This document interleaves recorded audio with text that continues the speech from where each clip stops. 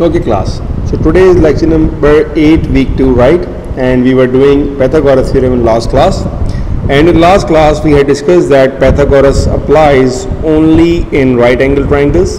By right angle I meant that there is one angle of 90 degree right and the working formula formula for right angle triangle is hypotenuse square equal to opposite square plus adjacent square right? And we know that how we pick the sides opposite adjacent and hypotenuse. But in Pythagoras theorem the most important side is hypotenuse. It doesn't matter if you switch opposite and adjacent it doesn't matter. Today we are going to do some example questions and they are sort of example word problem question but very easy right? Let's suppose we have a question a, B, C, D is a square and we need to find the length of its diagonal. Find length of its diagonal. Now first step or it is good habit if you draw a rough sketch first. So let's say I make a square and side is given that is 15 centimeter. It is given 15 centimeter right? A b c d. I need to find the length of the diagonal. So i can combine a and c or b and d. It's up to you. Doesn't matter because all four sides are equal. So diagonals are equal. And in square we know that this is a 90 degree angle. All angles are 90 degree. All vertices angle that means a b c and d. Right? So if it is a right angle triangle that means you can apply pythagoras here. The unknown is x ac if i draw this triangle separately so it's basically a right angle triangle with vertices a b C, we know that the length of B and C is 15, the length of A and B is 15, the length of A and C is x. Now if we apply Pythagoras here, it will be x square is equals to 15 square plus 15 square. 15 square is 225 plus 225, right? So 225 plus 225, it will be 450 and root of 450 is 21.2 so that is the length of our diagonal. Right? Now moving on to another example.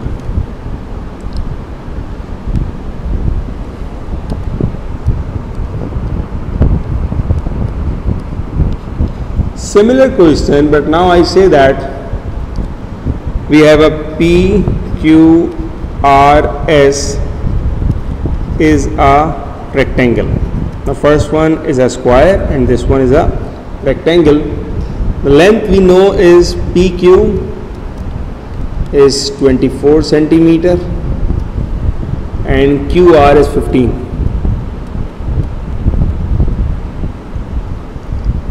Find the length of diagonal.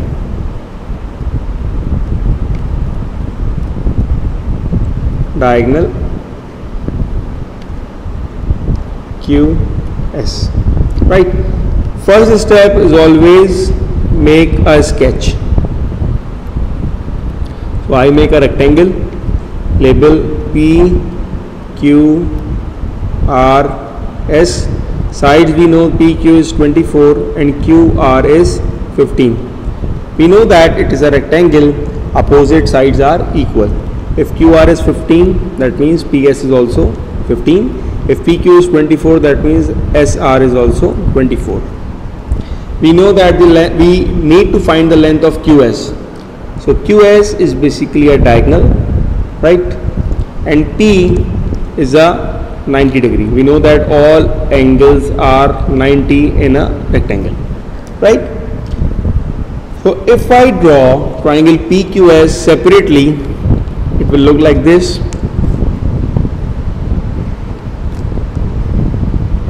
P Q qs pq is 24 ps is 15 and we need to find the length of qs now again you can solve it by using pythagoras.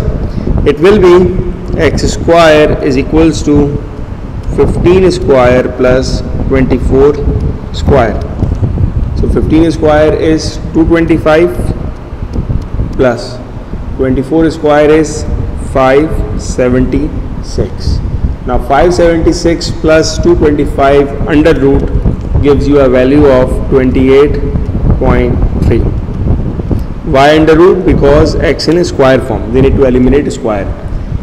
Right? So that's how we can do word problem of pythagoras theorem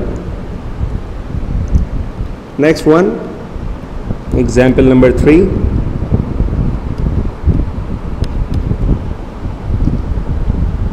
Now it says ABCD is a square.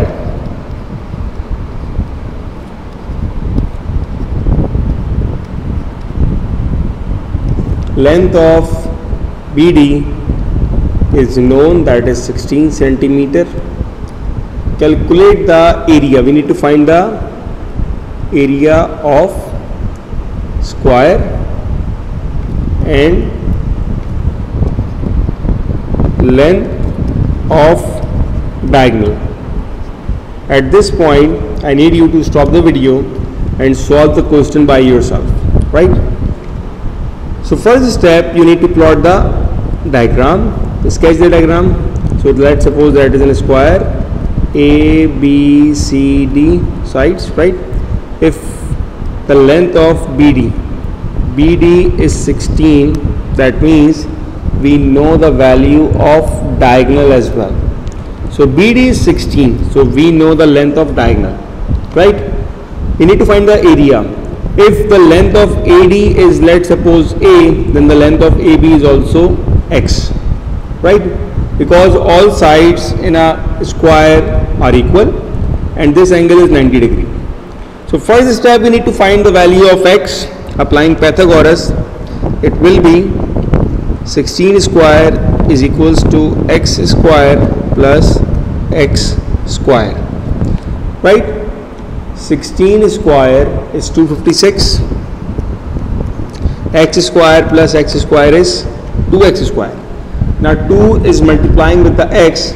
On the left side it will be divided by 256 and it will be 128 is equals to x square. Applying root on both sides so x is equals to 11.3 right? We know the value of x. Now area will be what? Area of a square is basically length square. Length we had find out 11.3 square and 11.3 square is 128 so that is an area of a square. Right? If someone has a question that why we cannot use 16 in L square because 16 is not the length. 16 is a diagonal. And the working formula for square is length square. Length is AB or BC or CD or AD these are four lengths. Diagonal is not the length. We can take in our area formula. Right? Okay next one.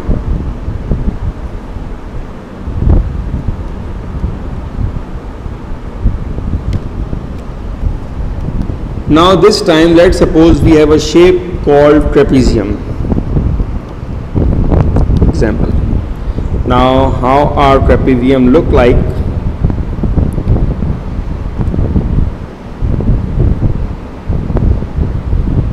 That is a trapezium in which these two sides are parallel right?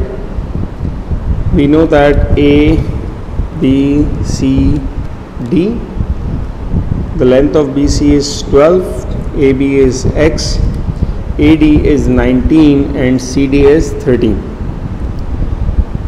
we need to find the value of X first right? And then we need to find X and area of trapezium. Now first thing what is a trapezium? Trapezium is a quadrilateral quadrilateral means a four sided figure. Trapezium is a quadrilateral with one pair of parallel sides. Like in our question we have AD and BC are parallel. So its condition is it must have only one pair of parallel side either AB or CD is parallel or AD or BC is parallel. So only one pair of parallel sides should be present in trapezium. Now the working formula for area. So area of a trapezium is 1 upon 2 sum of parallel sides multiply by height. That is a working formula for trapezium area. So in our case basically x is unknown right? And x is our height in this case.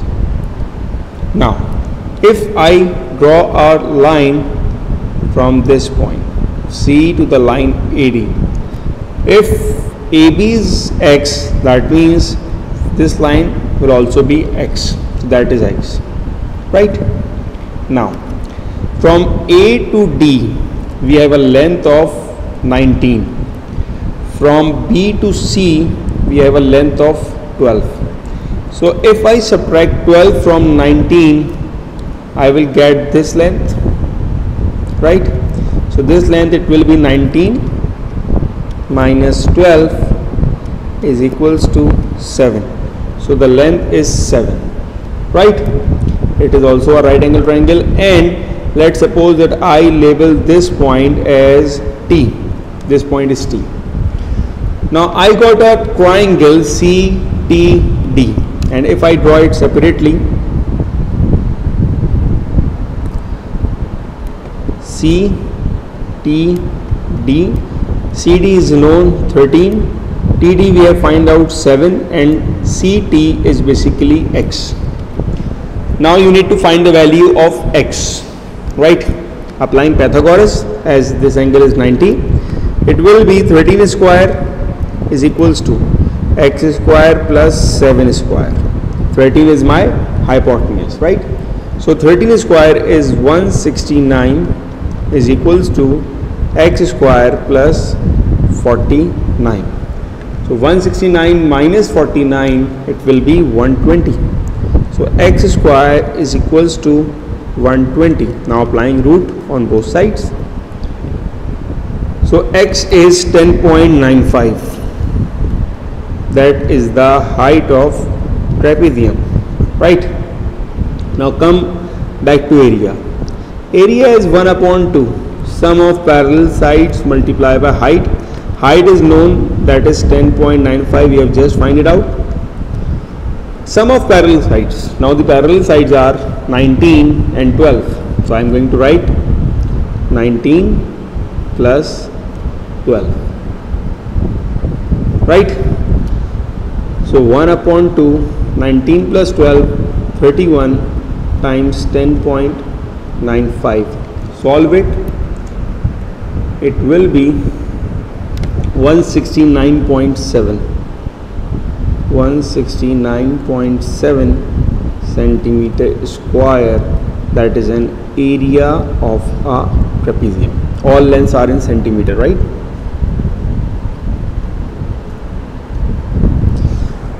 So that's how you find the area of a trapezium. Make sure that you have learned its formula.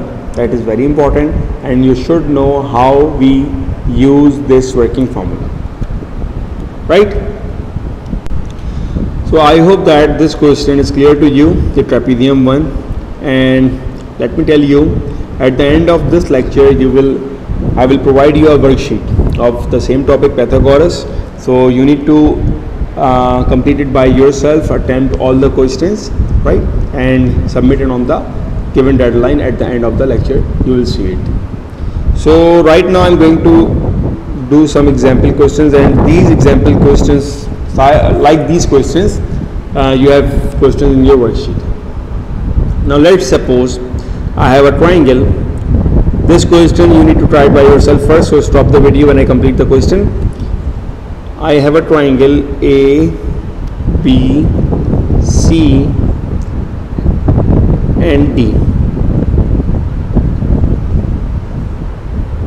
So right angle triangle 10 6 x 5 question is find x. Now you need to stop the video solve this question by yourself.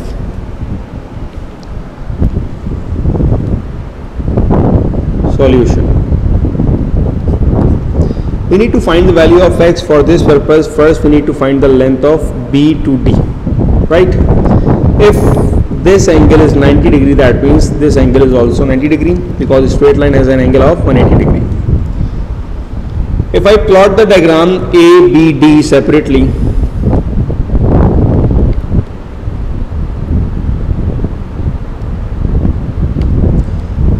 A B D. AB is 10 BD is Y and AD is 6 can we find the value of Y if your answer is yes, then you should try it by yourself first. If your answer is no, then you should really concentrate on this topic now. The hypotenuse is opposite to 90 that is 10. So it will be 10 square is equals to 6 square plus y square.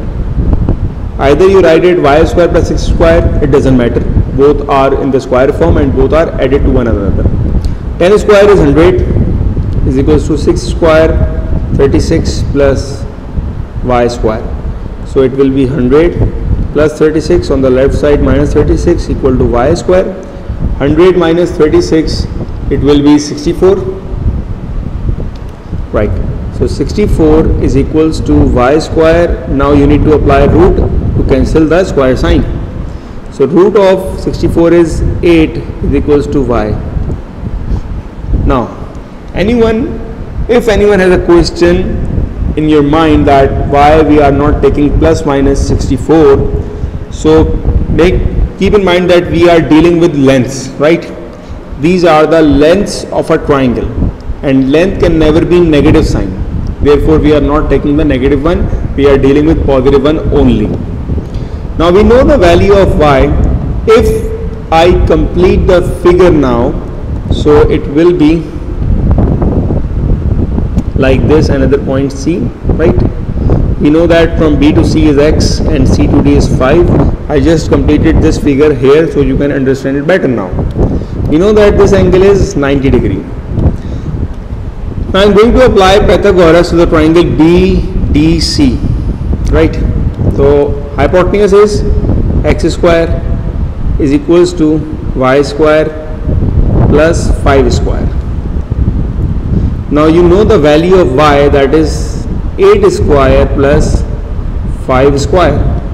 8 square is 64 5 square is 25 so 64 plus 25 it is 89 89 is equals to x square root on both sides. So x is equals to 9.43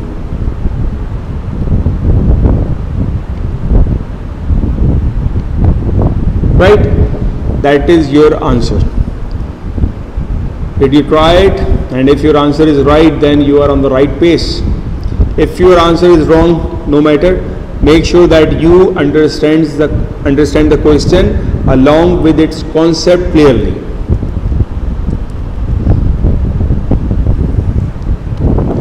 Okay. Example identify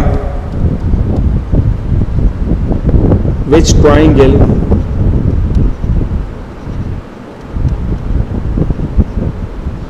is a right angle triangle.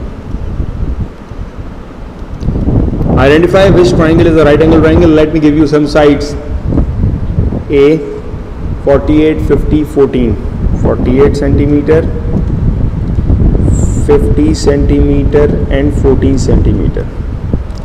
I will give you similar question like this to, for practice. First let me explain it to you. Identify which triangle is a right angle triangle. What you guys need to do first make a right angle triangle. That is right angle triangle right? Which one is the longest side? 50 50 is the longest side. That means 50 should be my hypotenuse so this length is 50 the rest two sides it's up to you. Either you pick 14 or 48 you can switch between these two sides. The most important side is hypotenuse that is 50 and I highlighted it. After that you need to apply Pythagoras. So it will be 50 square is equals to 14 square plus 48 square. Now you see that there is there isn't any unknown in this right? So simplify it further. 50 square is 2500 14 square is 196 plus. 48 square is 2304 we are going to add these two sides so it will be 2500 is equals to 2304 plus 96 it will be 2304 plus 196 it will be 2500 since left hand side and right hand side they both are equal. So we can say that this triangle is a right angle triangle. You see, we can use Pythagoras to identify that the triangle is a right angle triangle or not. I hope that you got an idea. Let's suppose if these two sides are not equal, let's suppose it will be 3000 equal to 2500. Now these two sides if they are not equal means the triangle is not a right angle triangle right so part A I had done in red pen I am going to write your homework part B 34 30 16 centimeter. Part C 81 centimeter 75 centimeter and 30 centimeter. Part D 66 centimeter 23 centimeter and 70 centimeter. So these three questions are your homework with the same technique as I have explained you in part A. Right so moving on. If you guys face any problem in any of the part you can ask me right in your next session. So another example. Now I'm giving you some easy one so you need to attempt it by yourself first. Let's suppose 13 12 x. You need to start it by yourself first and then I will explain you. So part 2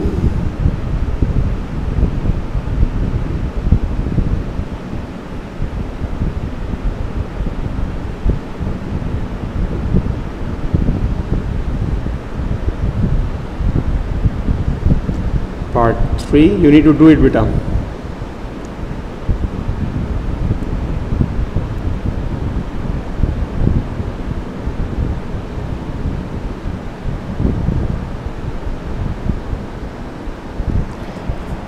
Now there are three example questions on your screen. I hope that many of you had attempted 1, 2 and 3 and most of you got the right answers inshallah.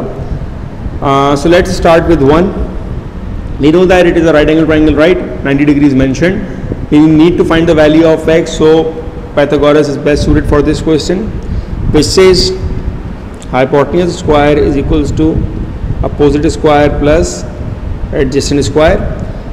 H square that means 13 square. Opposite square that means x square plus 12 square. Right? So 13 square is 169 is equals to x square plus 12 square is 144 now you need to subtract these two. 169 minus 144 is equals to x square. If you subtract 169 and 144 it will be 25 now applying root on both sides. So x is equals to 5 again the same reason only positive 5 not negative 5 because we are dealing with lengths and length can never be negative. Next part. Again a right angle triangle pythagoras theorem for y. First need to apply the working formula. So 9 square hypotenuse is equals to 7 square plus y square. So 9 square is 81 7 square 49 plus y square. So 81 minus 49 it will be 32 so 32 is equals to y square root on both sides. It will be 5.65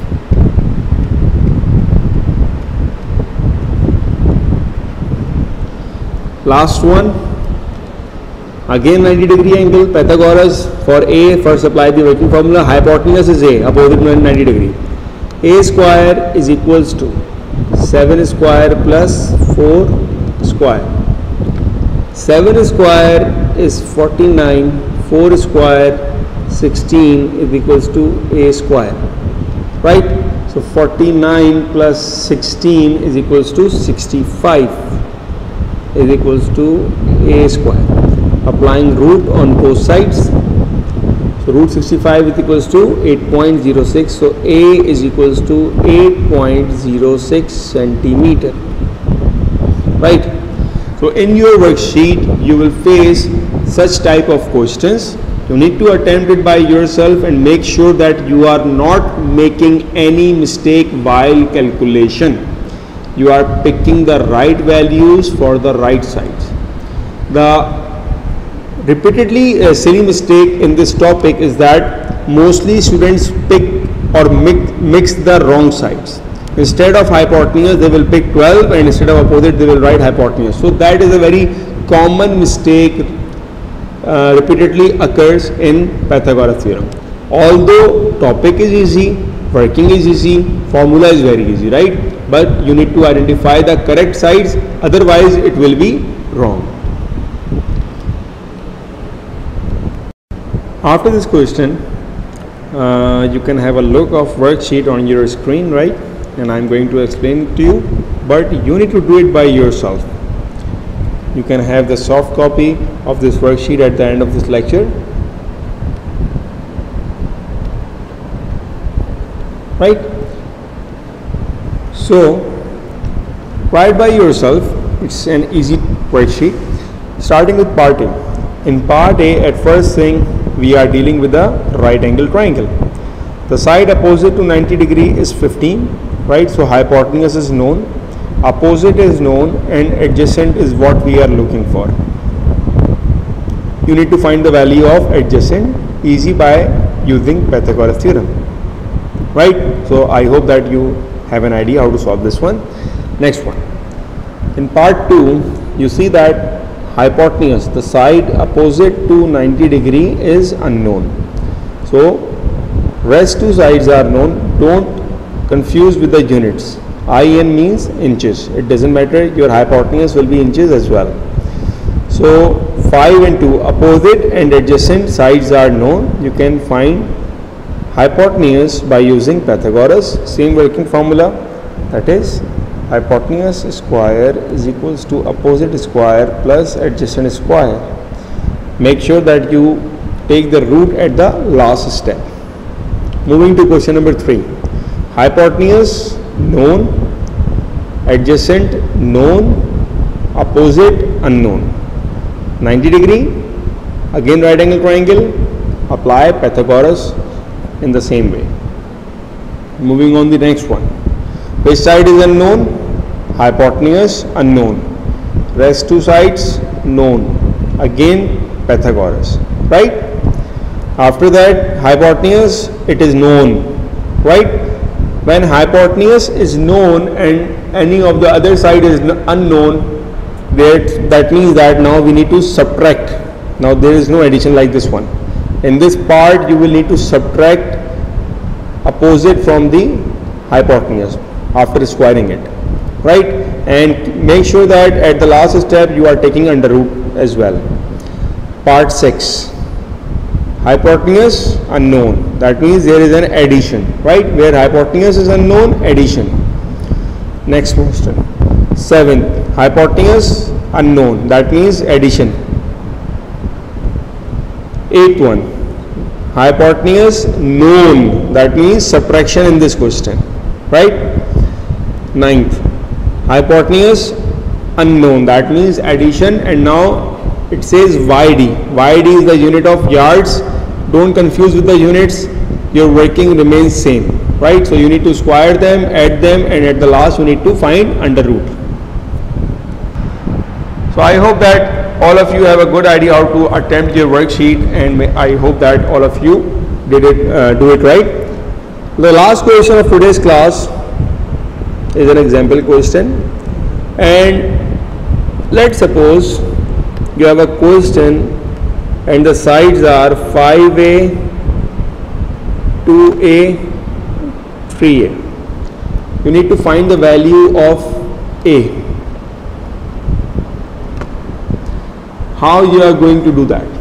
The same method Pythagoras it will be 5a square is equals to 2a square plus 3a square.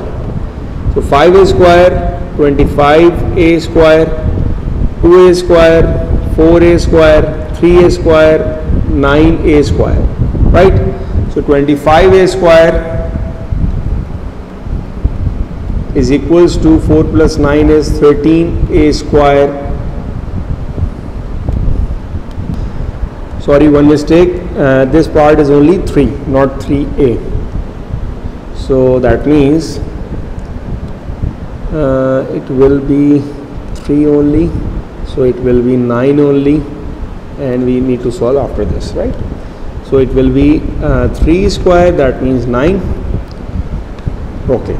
So now it will be 25 a square plus 4a square. On the left side it will be minus 4 a square is equals to 9 25 minus 4 it's 21 a square is equals to 9 and a square is equals to 9 divided by 21 so 3 times 3 is and 3 times 7 so a square is equals to 3 divided by 7 root on both sides. So 3 divided by 7 we need to do calculation by calculator it's 0.428 and root of it it will be 0.65 so the final answer of a is 0.65 so that's how you find an unknown by using pythagoras theorem. Okay? So that's all for today's class. I hope that all of you have a good idea of pythagoras now and how to solve different variety of questions in next class we are continuing with the same topic but with more questions right uh, I hope that all of you will attempt your homework. If there is anything you need to ask, feel free to ask me, right? Till then, take care and Allah Hafiz.